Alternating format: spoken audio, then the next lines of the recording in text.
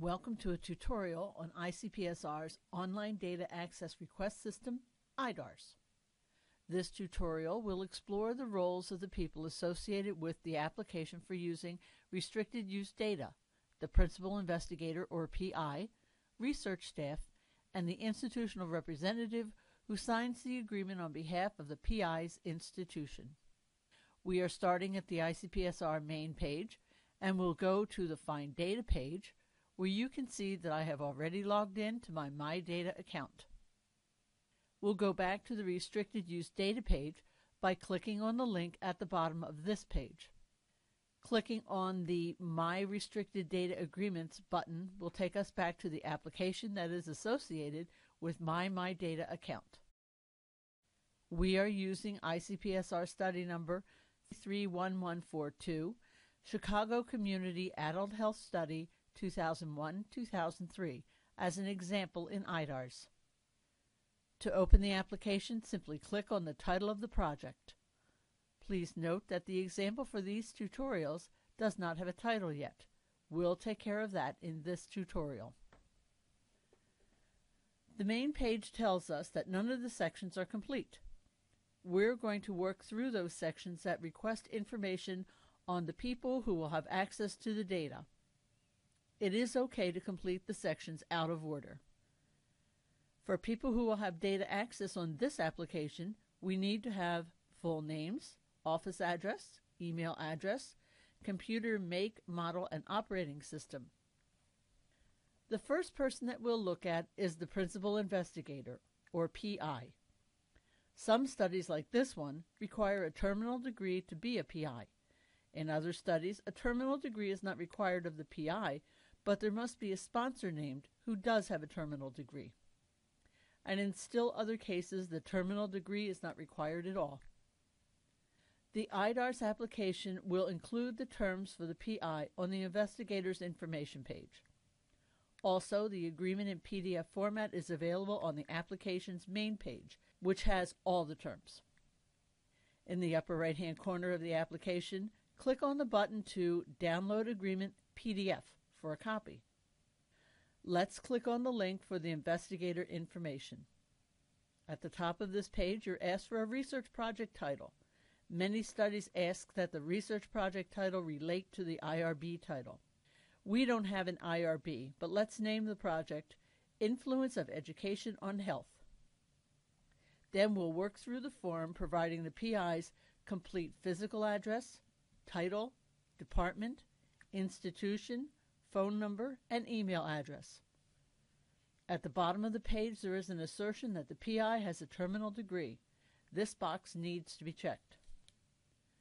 We'll complete the information about the PI's computer and operating system in a section later in the application process. In the case of a doctoral student who is seeking this study for his or her dissertation, the PI could be the dissertation advisor and the student would be listed in the research staff information page.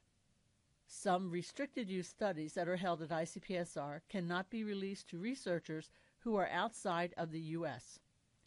If you are a researcher who is at an institution outside the U.S., check the study's application for such a notation or send an email to staff.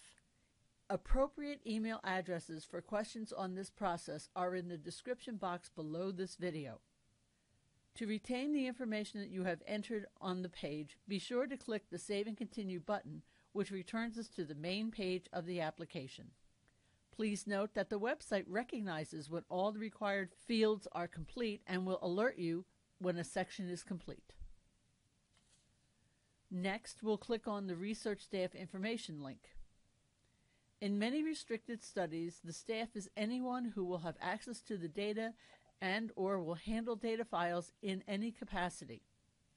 Generally, there's no limit to the number of staff members allowed on a project. Be sure to check the application for your study as this requirement may include IT staff or data librarians who may be handling data files. On the other hand, if you, as the PI, will be the only person with access to the data, you need to check this box attesting to that fact and click on Save and Continue to complete this section. To add staff, click on the Add a Staff Member button, which takes you to a page asking for the staff member's full name, email address, make and model of their computer and its physical location, and the staff member's institutional affiliation. Click on Save and Continue to complete the entry for this staff member. This returns us to a page which lists the individuals who have already been entered as research staff and a button to add a staff member. In this section, the website will recognize that the appropriate fields have been completed for the first staff member and will give you a complete indicator next to research staff information on the application's main page. But this section won't be complete until all of your staff members' information has been entered. The individuals who are entered in this section will receive an email with a link to an agreement for use of sensitive data and an individual security pledge. Before the application can be approved, each person must read and sign the pledge. In the future, after the application is approved and it becomes an agreement, the PI will return to this section to delete researchers who are no longer on the project and add new ones. The last place information on a person is needed is under Final Signatures, where the PI and the institutional representative sign the agreement. The agreement to use restricted data is between ICPSR at the University of Michigan and the institution where the PI is employed.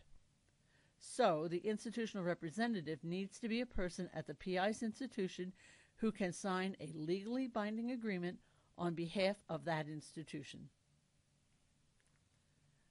Generally, that person is at the provost or vice president of research or sponsored project level, or a designated individual in those offices.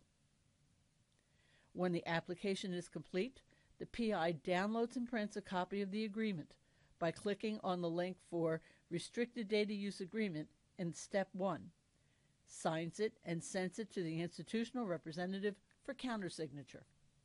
If the institutional representative wishes to make changes to a term in the agreement, send an email to the appropriate address in the description box below and request a copy of the agreement in Word format, which you can send to the institutional representative to propose changes and return it to the archive. Often these changes can be easily accommodated, but at times changes have to be approved by the Office of Research and Sponsored Project here at the University of Michigan which may impact the approval process. When the agreement is signed by both parties, the PI scans the signature page, saves it as a PDF file, and returns to this page of the application and attaches the signed file by clicking on the button Choose File after step 3 on this page, specifies the completed signature page and uploads it to the application. To ensure that the file will be saved, click Save and continue to return to the main page. We will continue to work through this application, completing each of the sections. When we're done with the application, we'll submit it for review and approval. This has been a tutorial on completion of the application section about people in an IDARS request for data.